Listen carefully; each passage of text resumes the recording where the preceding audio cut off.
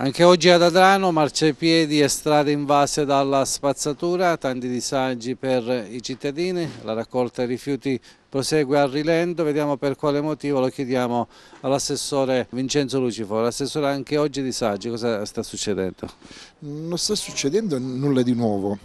Loro, loro, ancora non hanno preso, loro io parlo degli operatori ecologici, non hanno ancora preso il mese di ottobre scaduto il 15 di novembre, quindi è già da, da una settimana che, eh, che, ci sono i disagi, eh, sono in stato di agitazione, hanno fatto delle assemblee eh, ogni due ore, quindi le ultime due ore del, del loro servizio e se consideriamo che oggi questo già è il terzo giorno che fanno queste assemblee a due ore, è chiaro che qua si intravede uno sciopero perché eh, questo è il terzo giorno, due ore per giorno, è chiaro che è come se un giorno non avessero effettuato la raccolta, quindi è chiaro che crea parecchie difficoltà eh, alla città.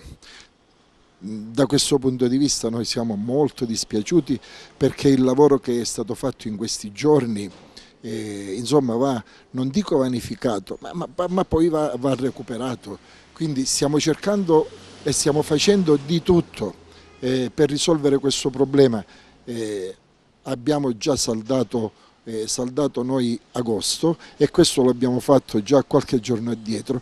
Stiamo cercando e stiamo lavorando di raffreddare questa situazione. Noi capiamo la loro di situazione, eh, insomma, perché hanno, hanno, la necessità di prendere i soldi, ma loro dovrebbero capire un po' la situazione della città.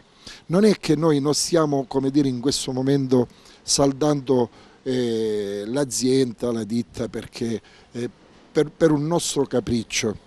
In questo momento la situazione è questa, quindi eh, con la loro protesta o senza la loro protesta mh, dico che certamente creano il disagio, ma non possiamo pagare perché in questo momento i soldi non ci sono.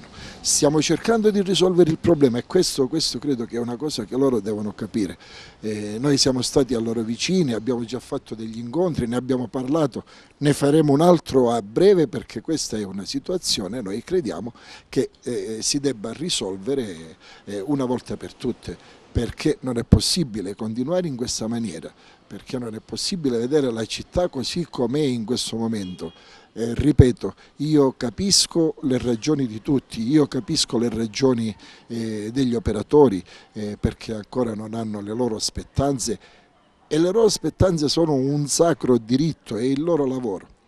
Però eh, la città in queste condizioni credo che non possa stare perché ne va, ne va di quello che abbiamo, ne va della differenziata perché noi avremmo problemi oggi eh, con la raccolta differenziata, ne va, eh, ne va per il lavoro che stiamo cercando di fare. Assessore, in questa vicenda incide il fatto che non sia stato ancora approvato il bilancio di previsione del Comune? Beh, chiaramente incide, incide come, perché se il bilancio fosse già approvato ci sarebbero i trasferimenti e quindi magari qualche problemino in meno.